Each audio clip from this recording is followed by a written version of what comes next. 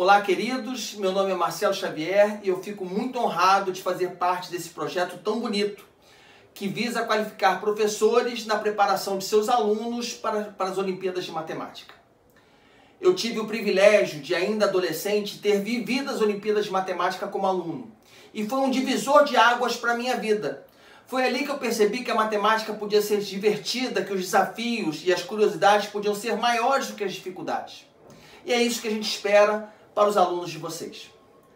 Hoje eu escolhi como tema é, uma, uma coisa que ultimamente tem sido muito moda, né? As questões de probabilidade que envolvem um jogo que não acaba com uma certa quantidade definida de rodadas.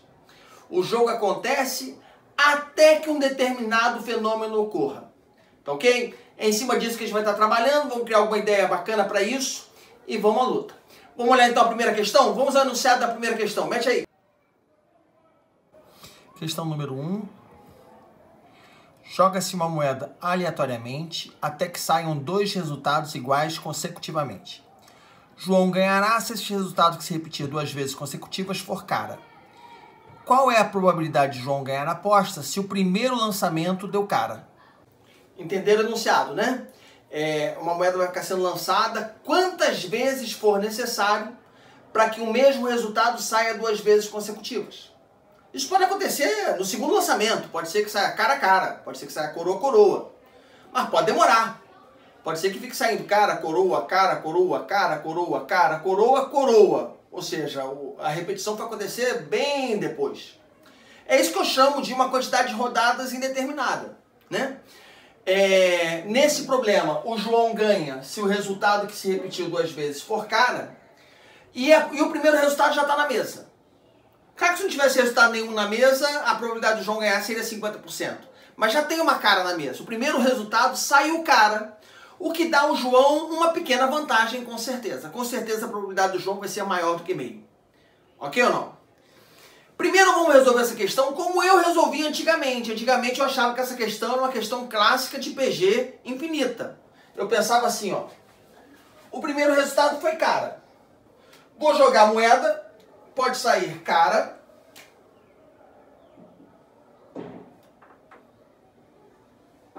Probabilidade de meio de sair cara de novo. Probabilidade de meio de sair coroa. Na hipótese de cima, João já ganha.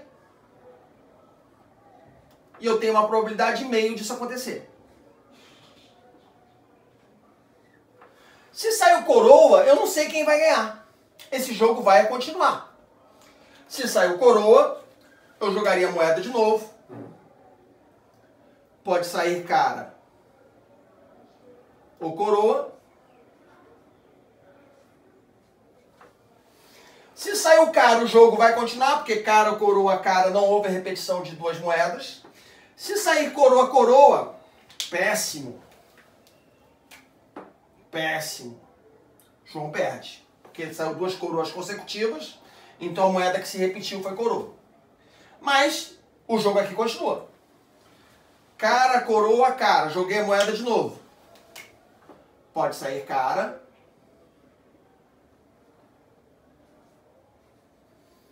Ou coroa. Cada ramificação dessa sempre com probabilidade meio, né?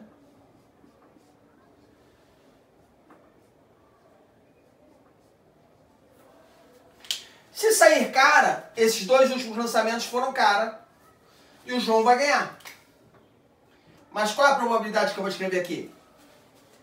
Meio para dar coroa, meio para dar cara, meio para dar cara. Meio vezes meio vezes meio, um oitavo.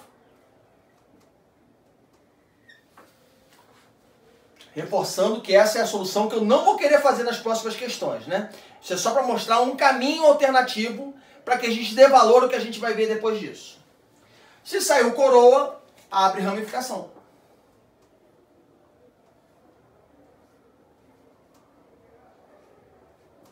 Coroa, coroa. Danou pro João.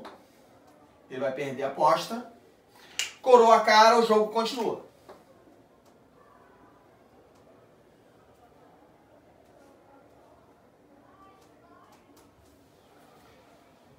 cara a cara, ele ganha. Mas qual é a probabilidade de chegar até aquele ponto? Concorda que eu vou ter mais duas ramificações de meio aqui, ó? A probabilidade de estar nesse coroa era a mesma de estar nessa cara, era um oitavo. Só que agora eu vou multiplicar por meio e por meio de novo. Então vou ficar com 1 sobre 32.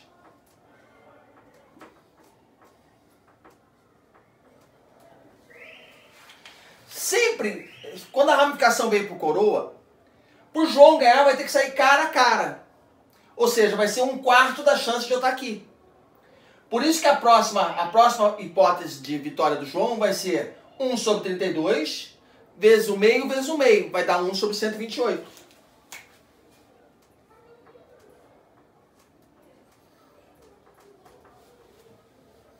Cara, o coroa, aqui o João perde.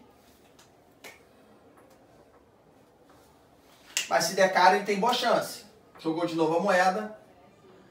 Cara ou coroa. Aqui o João ganha com probabilidade 1 sobre 32 vezes meio vezes meio, que dá 1 sobre 128. Aqui o jogo continua. As hipóteses continuam.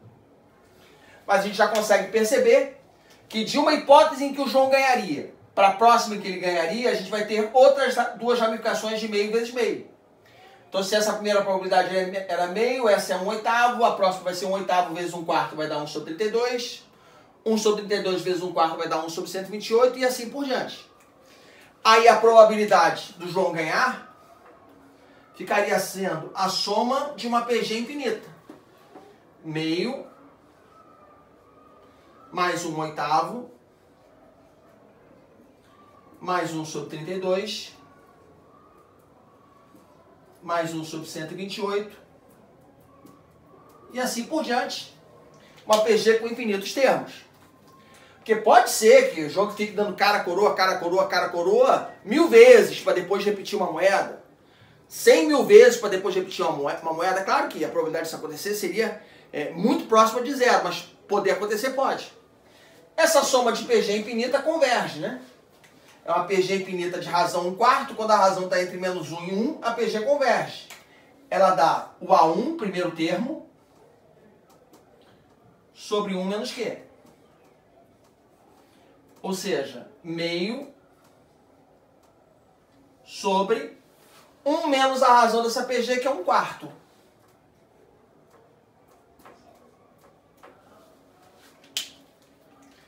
Meio. Meio é a mesma coisa que 2 quartos. 1 menos 1 quarto é 3 quartos. 2 quartos sobre 3 quartos, simplifica o 4. Isso aí dá dois terços.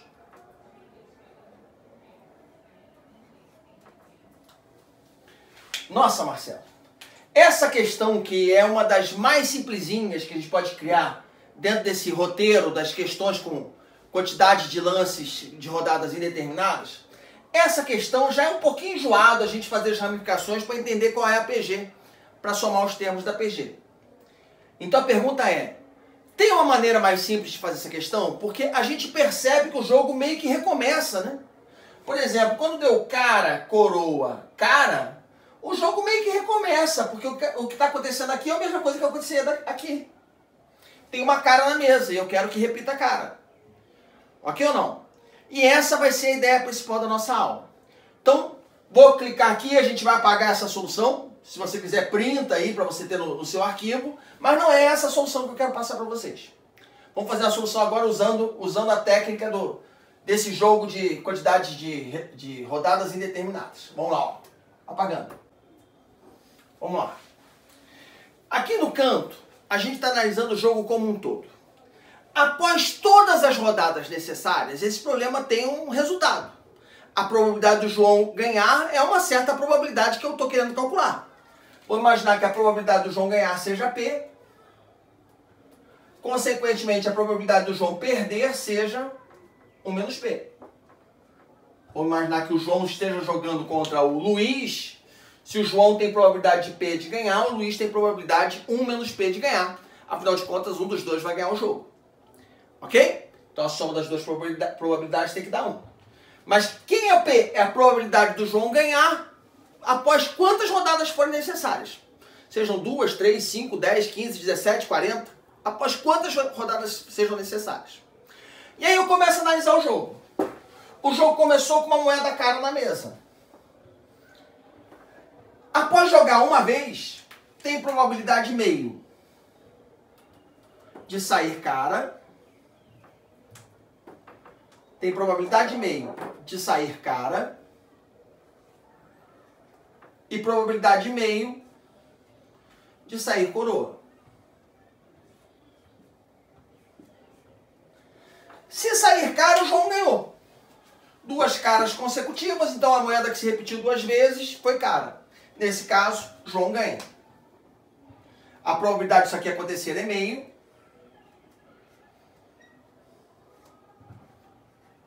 Vitória do João. Ok? Agora, se saiu coroa, eu vou pensar assim. Esse jogo está meio que recomeçando. Só que agora a moeda que, que tá mandando no jogo é a coroa. Porque essa cara não interessa mais. Essa cara não influencia mais o vitorioso. Como a vitória vem com duas moedas consecutivas, qualquer que seja o resultado que venha na próxima moeda, não tem a vitória ou derrota não tem mais a ver com esta moeda.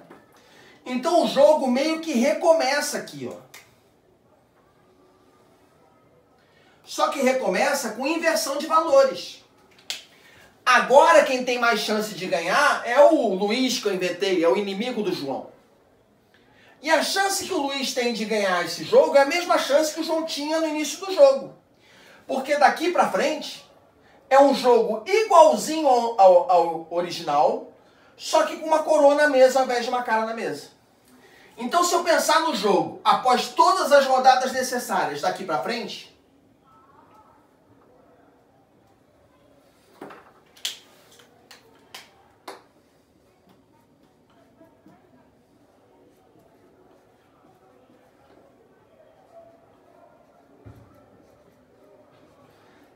a chance que o João tem de ganhar daqui para frente é a chance que ele tinha de perder no jogo original. Porque o jogo recomeçou com a vantagem na mão do, do, do inimigo do João. Então a chance que o João tem de ganhar daqui para frente, após quantas rodadas forem necessárias, é 1 menos P. É a chance que ele tinha de ganhar no jogo original. E a chance de ele perder no jogo original é a chance que ele tinha de ganhar no jogo original meio vezes 1 menos P dá 1 menos P sobre 2. Nesse caso, João ganha. Meio vezes P dá P sobre 2. Nesse caso, João perde.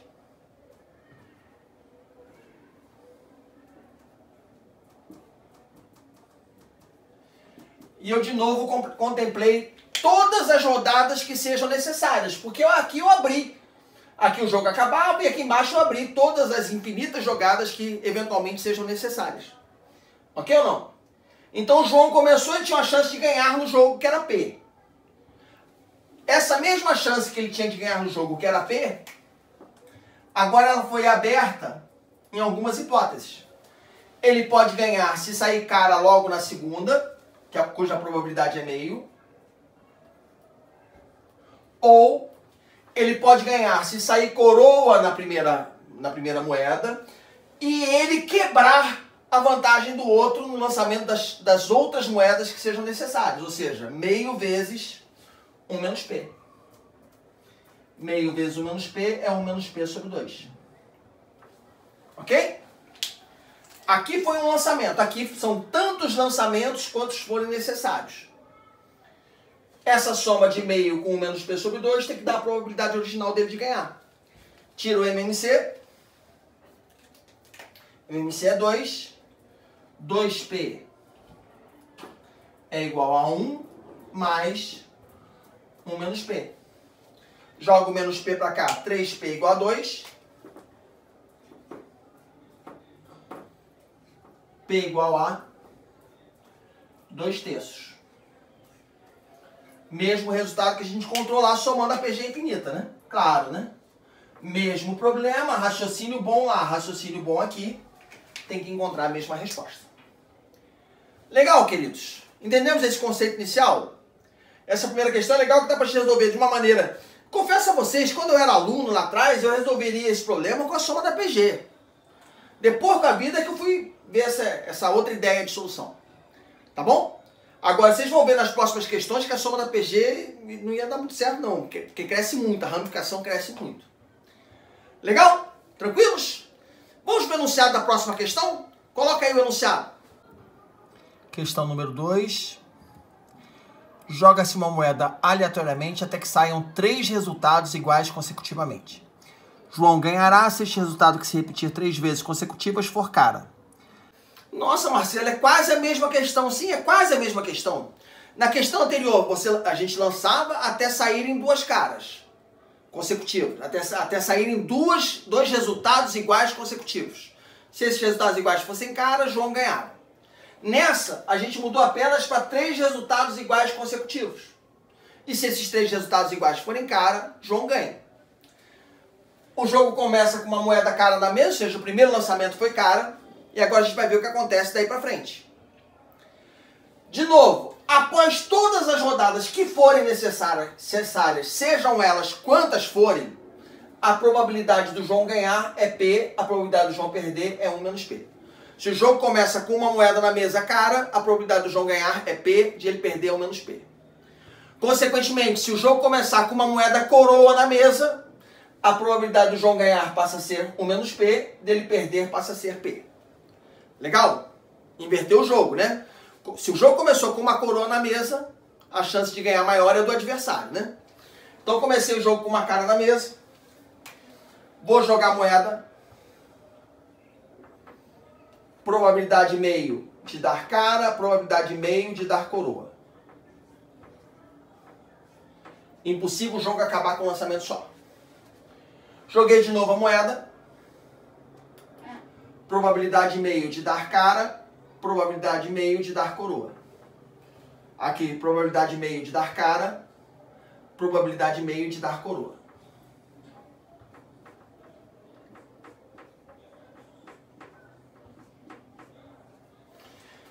Nessa primeira ramificação, João, João ganha, né? Nessa primeira ramificação que tem probabilidade meio vezes meio de acontecer,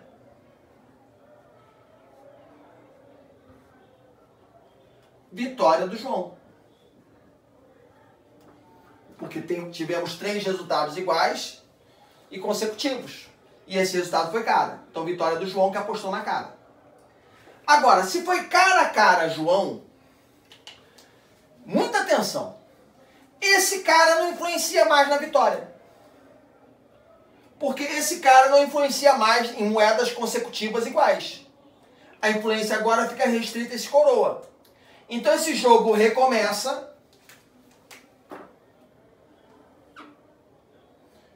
Com a vantagem do adversário do João. Se o jogo recomeça com a vantagem do adversário do João, então após todas as rodadas que forem necessárias, a chance do João ganhar passa a ser o oposto do que ele tinha originalmente. E a chance dele perder passa a ser a, a, a probabilidade que ele tinha originalmente. Então aqui ele ganha. Meio vezes meio vezes 1 menos P dá 1 menos P sobre 4.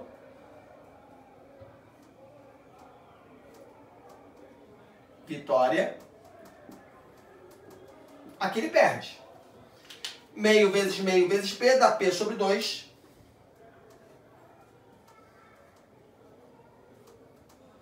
Derrota. Ok? Vamos pro próximo resultado, ó. Cara, coroa, cara. Essa coroa não influencia mais. Esse jogo recomeçou com cara na mesa. Se esse jogo recomeçou com cara na mesa, a chance dele acabar após todas as rodadas que sejam necessárias vai ser a mesma chance que ele tinha de ganhar no início do jogo. P. Aqui não é um lançamento, é tantos lançamentos quantos necessários. Então, é, em, com uma probabilidade P, o jogo recomeçou com cara e com uma probabilidade P, o João vai ganhar. Então, qual é a probabilidade do João ganhar nessa ramificação? Meio vezes meio vezes P. P sobre 4.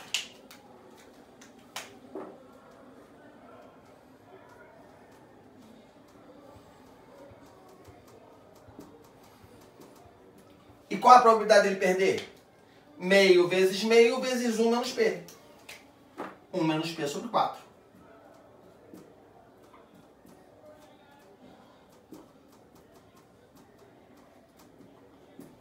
Legal? Coroa, coroa. Hum, esse jogo não está recomeçando não, hein? O inimigo está com grande chance de ganhar esse jogo. Vamos abrir mais um lançamento puro. Um lançamento puro vai ter probabilidade meio de dar cara, probabilidade meio de dar coroa. Se der cara, ufa, salvou, hein? O João tava tenso aqui, ó. Tinha duas coroas seguidas, lançou moeda, deu cara, uh, salvou e a vantagem voltou pro João. Daqui pra frente, o João volta a ter probabilidade P de ganhar o jogo, 1 menos P de perder. Vamos ver como é que fica a probabilidade dessa ramificação? Meio vezes meio vezes meio vezes P. P sobre 8 de vitória.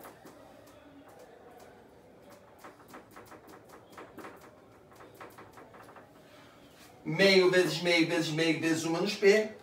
1 menos P sobre 8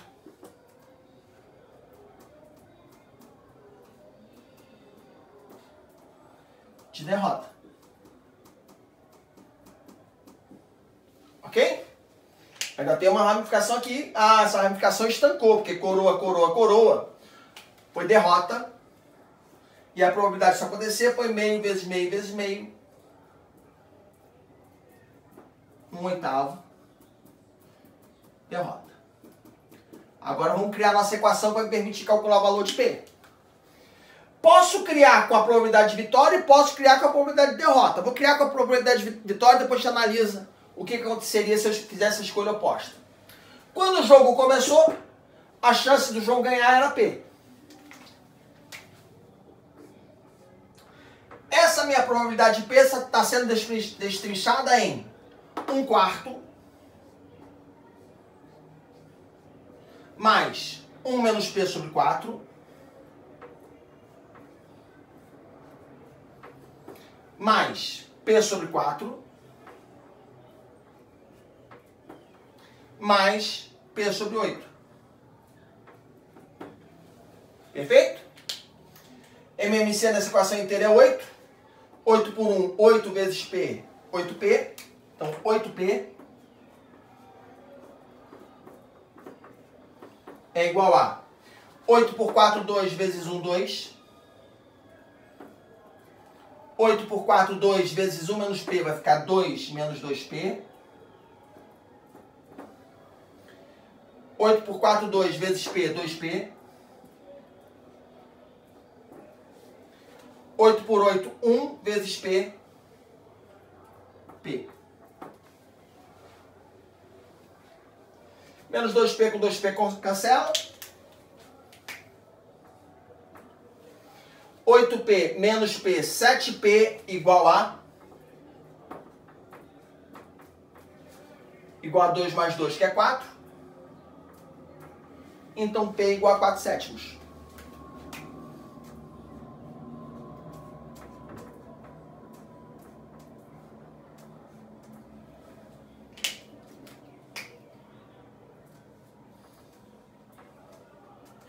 maior que 50%, como era de se esperar, né? O jogo começa com uma cara na mesa, mas a probabilidade já não foi tão grande quanto na questão anterior, porque na questão anterior, duas moedas consecutivas já davam vitória. Então aquela cara na mesa tinha uma influência maior sobre o resultado do que ela tem agora. Aquela primeira moeda cara nesse, nesse, segundo, nesse segundo jogo, ela não é tão influente sobre o resultado como era no primeiro jogo. Maravilha? Ficou claro? Tranquilos? Dá uma printada aí nessa tela, depois faz a sua rabiscada para ver se se encaixou tudo direitinho. Marcelo poderia ter feito com a derrota? Poderia. No início do jogo a chance de perder era 1 menos P. Esse 1 menos P é igual a P sobre 2, mais 1 menos P sobre 4, mais 1 menos P sobre 8, mais 1 oitavo. se resolver a equação, eu fiz isso, né? Fiz para ter certeza absoluta que eu não está falando bobagem para vocês, você vai achar o mesmo P igual a 4 sétimos. Maravilha? Vamos para o enunciado da próxima? Coloca aí o próximo enunciado.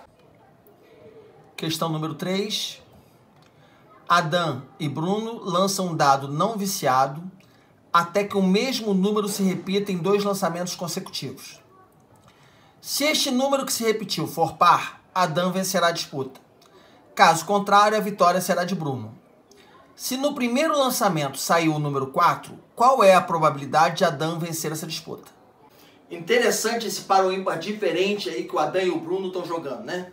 É, eles ficam jogando dado, o dado até pode ser jogado por um terceiro, não importa muito quem está jogando dado, mas eles ficam jogando dado quantas vezes for necessário até que saia o mesmo número duas vezes consecutivas. Um mesmo número e não uma mesma paridade. Eles ficam jogando até que o mesmo número aconteça duas vezes consecutivas. Se esse número que se repetiu duas vezes consecutivas for par, vitória do Adão. Se for ímpar, vitória do Bruno. Ok? Mesma ideia de sempre. Quando o jogo começa, após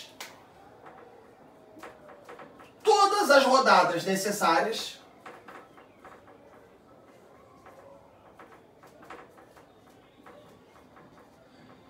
existe uma probabilidade do Adam ganhar. Que probabilidade é essa? Se eu soubesse, não tinha questão, né? A pergunta é justamente essa. Existe uma probabilidade P dele ganhar. Adam vence. Existe uma probabilidade 1 menos P dele perder. Bruno vence. Ok? Então, nesse jogo, vamos, vamos começar a apelidar de jogo infinito. Ele não é infinito, ele vai até um determinado ponto, mas vamos começar a apelidar de jogo infinito? Após as infinitas rodadas, ou seja, quando eu falar após as infinitas rodadas, vocês vão entender. Após tantas rodadas quanto forem necessárias, a probabilidade do Adam ganhar é P, a probabilidade do Bruno ganhar é P. Se nós começamos com o número 4 aqui. Claro que não faria diferença se eu começasse com o número 2. Se, o dois, se eu começasse com 2, o 2 era a grande chance da base e essa chance é a favor da dama. Não faria diferença se eu começasse com 6. Mas faria diferença se eu começasse com o número 1. É, um. Se eu começasse com o número 1, um, aí o Bruno é que passa a ter vantagem, né? Se o número que está na mesa, se o último lançamento for ímpar, aí é o Bruno que passa a ter vantagem. Né? Então, se o último lançamento for 1, 3 ou 5, o Bruno, o Bruno é que está salivando a chance de ganhar na, no próximo lançamento. Legal? Comecei o jogo. O número 4 está na mesa. Vamos combinar que três coisas podem acontecer agora. Pode sair 4 de novo. E aí, nesse caso, o Adam ganhou no segundo lançamento. Pode sair 2 ou 6. Nesse caso, o Adam não ganhou, mas ele continua com a vantagem no jogo. Pode sair 1, 3 ou 5. Nesse caso, o Adam não ganhou e a vantagem do jogo passou para o Bruno. Qual é a chance de sair 4 no próximo lançamento? São 6 passes no dado, a chance de sair 4 é um sexto. E esse caso já sacramenta vitória do Adam.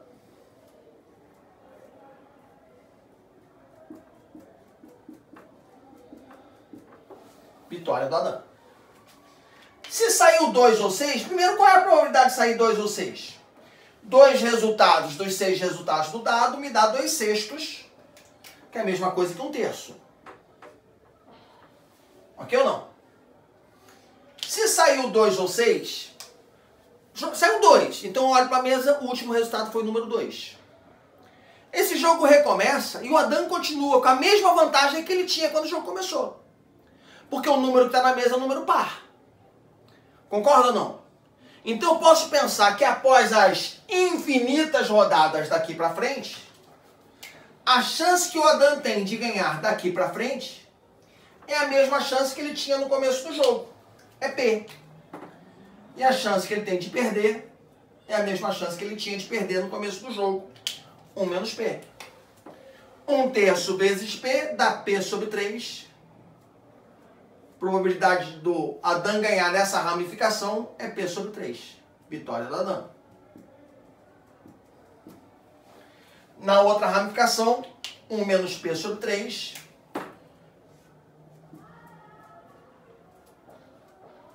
Gera derrota do Adam. Consequente vitória do Bruno. Agora, se saiu um 3 e 5, joguei o dado, saiu o número 1, o Adão faz assim, ó. Não! Por quê? Porque ele sabe que a vantagem agora está com o Bruno. Porque se tem um número ímpar na mesa, quem tem chance de ganhar na próxima, no próximo lançamento é o Bruno, não é mais o Adão. Portanto, as probabilidades se invertem daqui para frente. Com um número ímpar na mesa, a chance do Adão vencer passa a ser 1 menos P. E do Bruno vencer passa a ser P. Então, daqui para frente, após todas as rodadas que sejam necessárias, a chance do Adam vencer passa a ser 1 menos P, a chance do Bruno vencer passa a ser P. E qual é a chance de dar 1, 3 ou 5? Três resultados dos seis do dado, 3 sextos ou 1 meio, né? Vamos fazer essa ramificação, ó. 1 meio vezes 1 menos P, 1 menos P sobre 2, probabilidade de dar vitória do Adão. P sobre 2, probabilidade de dar derrota do Adão. Ou seja, vitória do Bruno. Legal? Agora é montar a equação. Quando o jogo começou, a chance do Adão vencer era P. E a chance do Adão vencer calculada de outra maneira, ela é 1 sexto mais P sobre 3 mais 1, 1 menos P sobre 2. Então, P é igual a 1 sexto mais P sobre 3 mais 1 menos P sobre 2. MMC é 6. 6 por 1, 6 vezes P, 6P. 6 por 6, 1 vezes 1, 1. 6 por 3, 2 vezes P, 2P. 6 por 2, 3 vezes 1 menos P vai ficar 3 menos 3P. 2P menos 3P dá menos P, jogou para cá, virou mais P. 7P igual a 1 com 3, 4. Igual a 4 sétimos.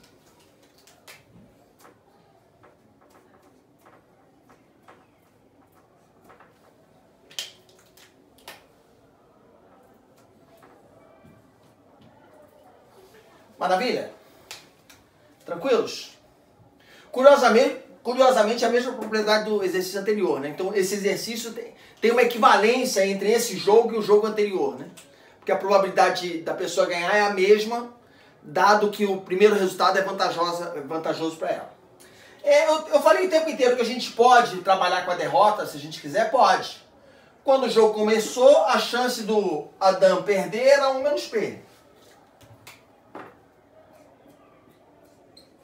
Após destrinchar o jogo, a chance do Adam perder é 1 menos P sobre 3, mais P sobre 2.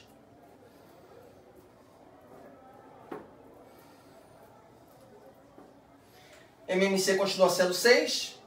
6 por 1, 6. Multiplica por 1 menos P, vai ficar com 6 menos 6P. 6 por 3, 2, vezes 1 menos P, vai ficar 2 menos 2P. 6 por 2, 3, vezes P, 3P menos 6P joga para lá, mais 6P, 6P menos 2P, 4P, mais 3P, 7P.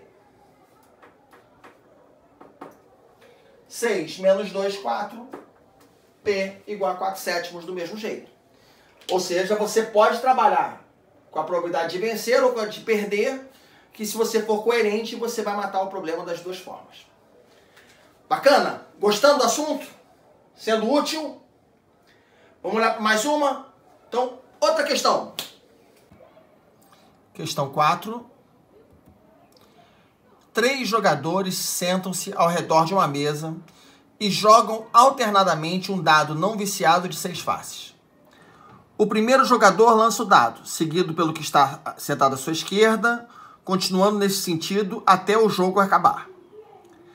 Aquele que jogar o dado e o resultado for 6 ganha e o jogo acaba. Se o jogador obtiver o resultado 1, o jogador seguinte perderá a vez, isto é, a sua vez passará ao jogador sentado à direita de quem obteve 1. O jogo seguirá até que um jogador ganhe ao tirar um 6. Qual é a probabilidade de vitória do primeiro jogador a jogar? Eita, cachapo esquentou agora, hein? Questão envolvendo três jogadores. O jogo começa com dado na mão do jogador A. E a regra é a seguinte: cada jogador que está com dado joga o dado. Se sair o número 6, ele acabou o jogo. O chopp é dele, ganhou a aposta, vai embora. Se sair o número 2, 3, 4 ou 5, ele passa o dado para o jogador que está à sua esquerda.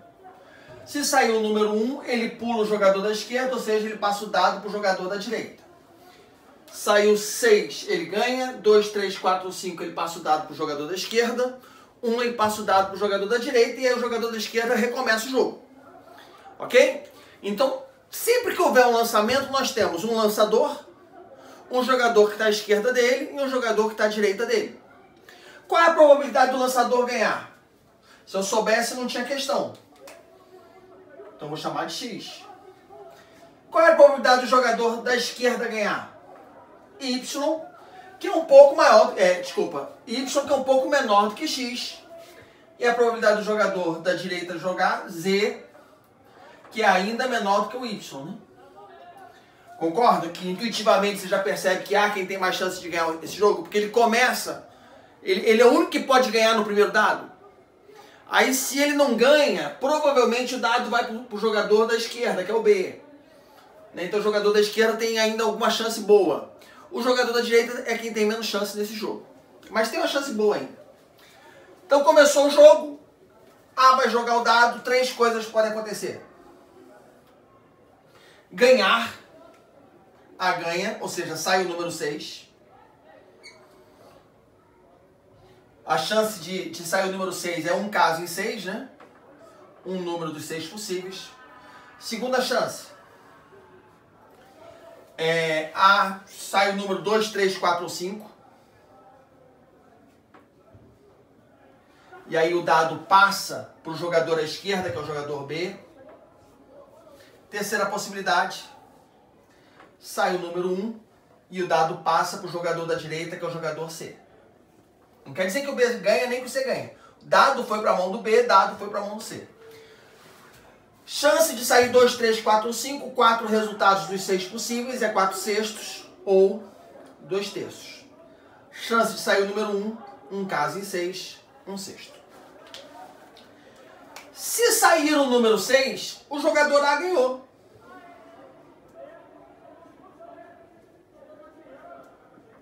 Probabilidade, um sexto. Ou seja, de cara, em um sexto dos casos, a vitória do jogador A. Se saiu 2, 3, 4 ou 5, é o jogador B que assumiu o dado. O dado saiu da mão do jogador A, foi para a mão do jogador B. Qual é a chance do jogador A ganhar no jogo que está se reiniciando nesse momento? O dado está com o jogador B, é como se o jogo estivesse reiniciando. Esse jogo está reiniciando e o A é o jogador da direita do B. Então a chance do A ganhar após as infinitas rodadas necessárias, infinitas é, é, é, a nossa maneira de falar, ou seja, após o total de rodadas que sejam necessárias, é a chance do jogador da direita ganhar. Quer dizer, ok? Então, ó, B jogou dado. O A ganha, vitória de A.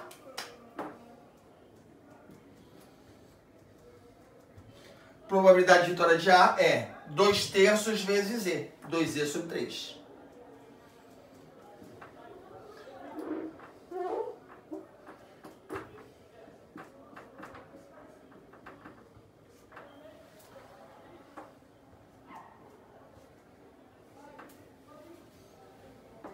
E sobre 3 aqui. Legal? Aqui pode dar B ou C. Vamos destrinchar o B e o C? Se o B está lançando, a chance do B ganhar é X. E a vitória de B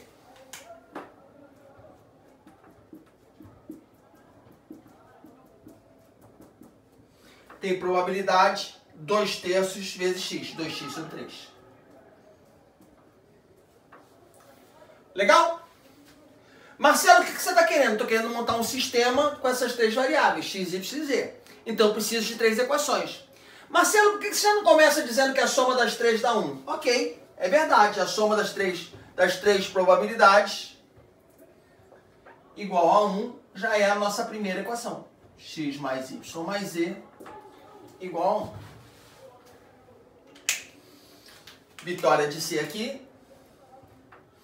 Se o B está lançando, C é quem está à esquerda, a probabilidade de quem está à esquerda ganhar é Y. Então a vitória de C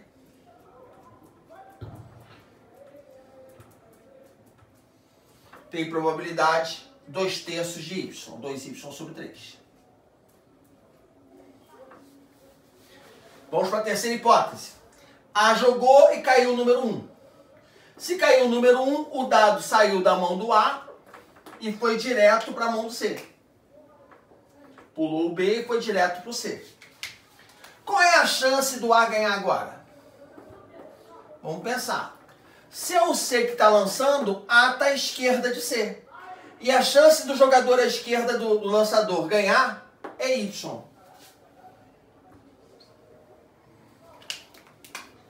Vitória de A.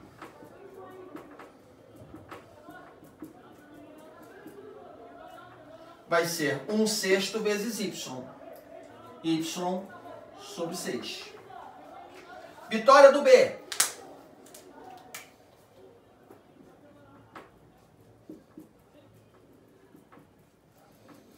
Quando o C está lançando, B é quem está à direita. E a probabilidade do jogador à direita ganhar é Z. Então a probabilidade do B vencer aqui vai ser 1 sexto vezes Z, Z sobre 6. E a vitória do C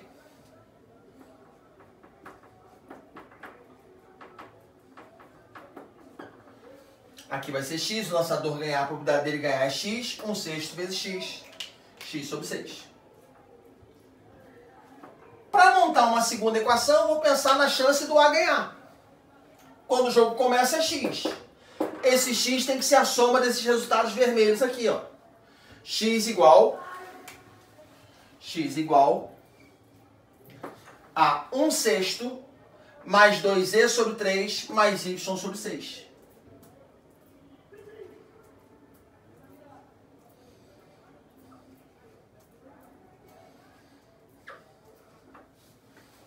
Perfeito? Daqui eu tenho uma segunda equação. Tira MMC. MMC é 6. 6x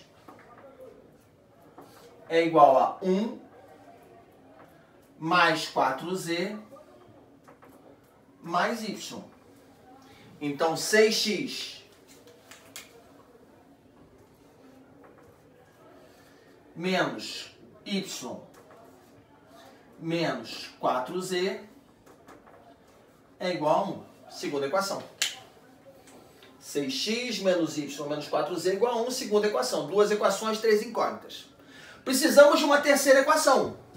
Vou usar a vitória de B.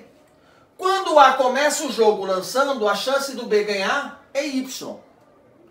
E destrinchando a chance do B ganhar, esse mesmo y ele é 2x sobre 3 mais z sobre 6.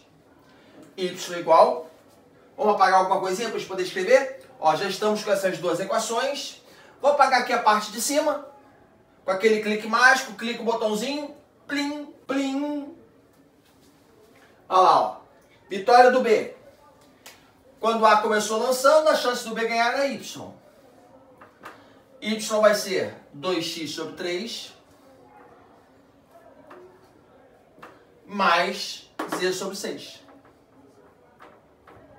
Tira o MMC que é 6 6y igual a 6 por 3 dá 2 vezes 2x, 4x. 6y igual a 4x mais e.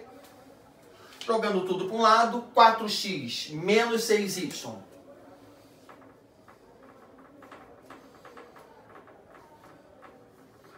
Mais e igual a zero. Terceira equação. Uma equação, duas, três, três incógnitas. Agora é resolver o sistema. Vamos apagar tudo e botar o sistema para ser resolvido? Apagando. Plim. Tá lá o sisteminha para a gente resolver. É, vamos tentar eliminar uma das variáveis. Eu vou eliminar a variável z. Nessas duas aqui, ó, vou multiplicar a primeira equação por 4 e somar com a segunda. Então, 4x com 6x, 10x. 4y menos y, 3y. 4z com menos 4z corta. 4 com 1, 5. Segunda e a terceira, vou multiplicar a terceira por 4 e somar. 16x com 6x, 22x. Menos 24y, menos y, dá menos 25y. 4z menos 4z corta. 4 vezes 0, 0 com 1, 1. Lembrando que eu quero x, então vou, vou trabalhar para eliminar a variável y. Vou multiplicar a equação de cima por 25. Por 25. E a de baixo por 3. A de cima vai ficar 250x mais 75y igual a 125. A de baixo vai ficar 66x menos 75y igual a 3. Soma as duas. 316x igual a 128. x igual 128 sobre 316.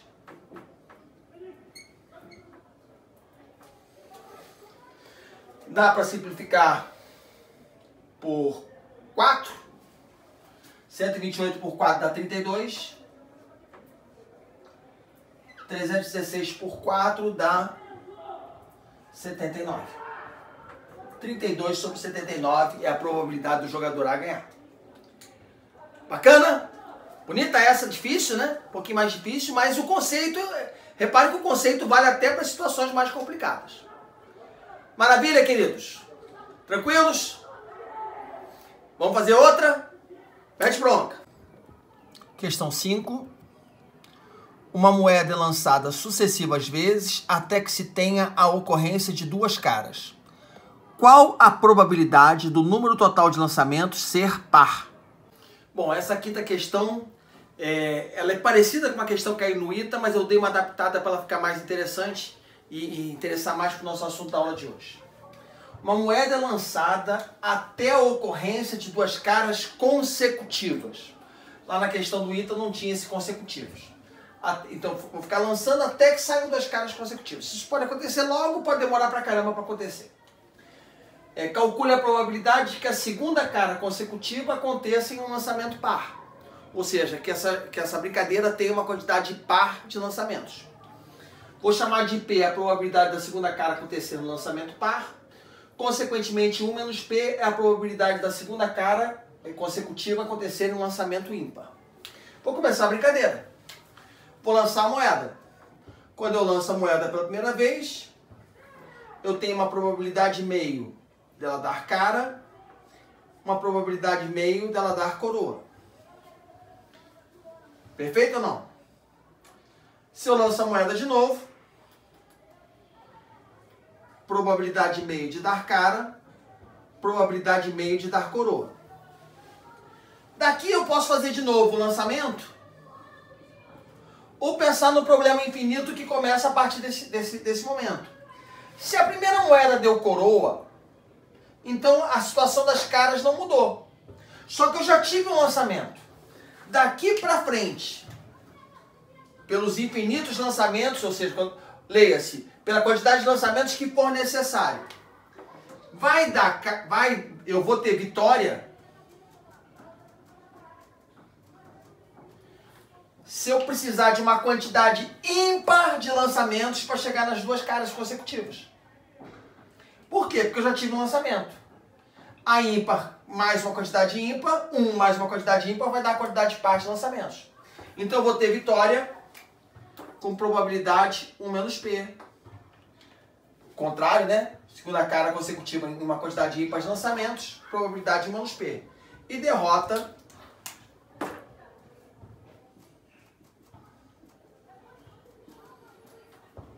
com probabilidade P. Então, qual é a probabilidade de vitória por esse ramo? Meio vezes 1 menos P, que dá 1 menos P sobre 2. Lá em cima. Se saiu cara e saiu cara, o jogo acabou. E a segunda cara aconteceu numa quantidade par de lançamentos, dois lançamentos, eu fiquei feliz. Probabilidade 1 quarto. Se saiu cara e saiu coroa, o jogo meio que recomeça porque essa primeira cara não influencia nas duas caras consecutivas. Já não foi consecutiva com a seguinte. Então o jogo recomeça e eu já tive dois lançamentos. Se eu já tive dois lançamentos, a minha vitória agora vai acontecer se eu tiver a minha segunda cara consecutiva numa quantidade par de lançamentos, porque 2 mais uma quantidade par vai dar par. E a probabilidade da segunda cara consecutiva acontecer numa quantidade par de lançamentos é P.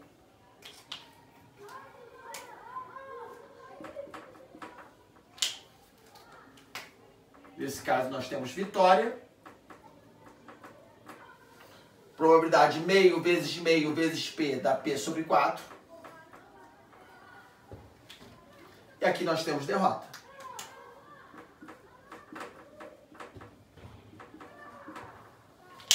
Agora é só igualar.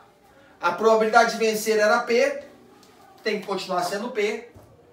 Então P é igual a 1 quarto, aqui foi vitória vitória do que a gente está apostando, né? Um quarto mais P sobre 4 mais 1 menos P sobre 2. MMC é 4. 4 por 1, 4 vezes P, 4P. 4 por 4, 1 vezes 1, 1. 4 por 4, 1 vezes P, P. 4 por 2, 2 vezes 1 menos P vai ficar 2 menos 2P. P menos 2P menos P, jogou para cá, 5P igual a 3, P igual a, 5, a 3 quintos.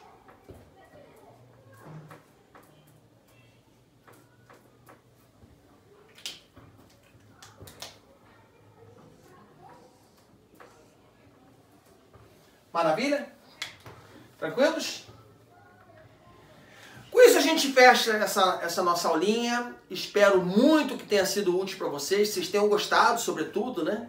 Tenham aproveitado esse, esse pró-olímpico como um todo, né? E a gente se encontra aí pela, pela estrada da vida. Abraço a todos vocês. Tchau, tchau.